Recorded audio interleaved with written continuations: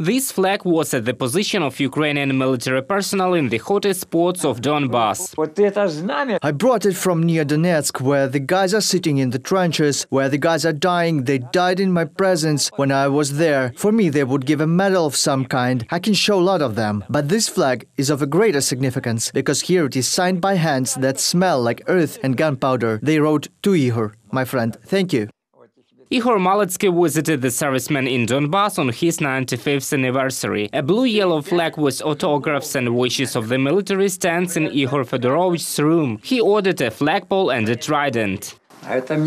And this has already been sent to me from Kiev. I asked for the top to be there. Now this, the girls serving there have also signed. They are great.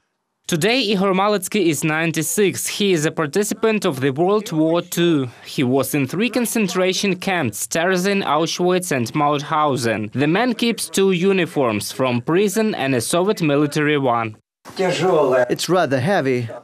Ihor Malytsky wears a uniform decorated with awards and medals in commemoration of those killed in World War II. He says that when he was in the Terezin concentration camp, he saw how people were ready to give their lives for the flag.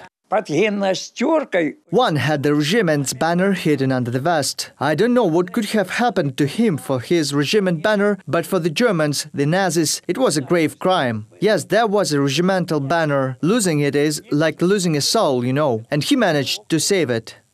After the release from captivity, Ihor Malytsky was an artilleryman. Then he could not even think that in half a century he would again go to the combat zone. This year he plans to visit the positions of the Ukrainian military personnel again, and he will also take the flag there. Reported by Roman Smoler, Natalia Belokudria, UATV News.